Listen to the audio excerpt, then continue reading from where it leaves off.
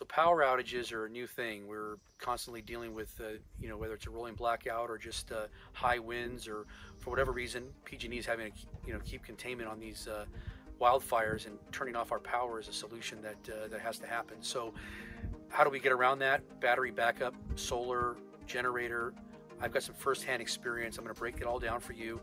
Let's get started.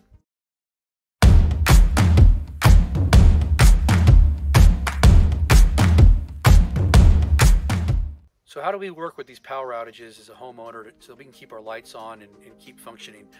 It's uh, some good options here. I, I, went through this myself trying to determine, you know, I don't want to try to take advantage of this. I don't want to have these power outages. So you have options. There's if you've got good sun on your property, you can do solar.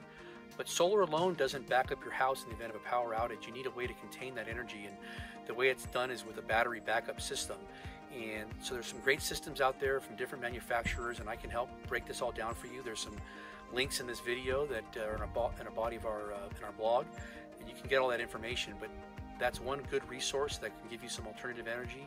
Also, there's a generator option, so maybe you don't have as much sun, and or you don't want to go through some of the added expense and permits. You can do the whole house generator, and they can run off of natural gas or propane, and basically your house is powered instantly. You don't even realize the power went out.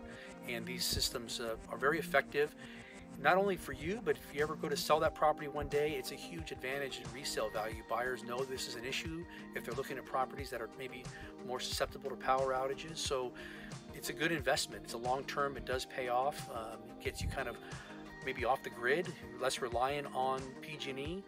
So anyhow, if you have any more questions, just want to get some information, I'm just a phone call, text, email away. I'm glad to help.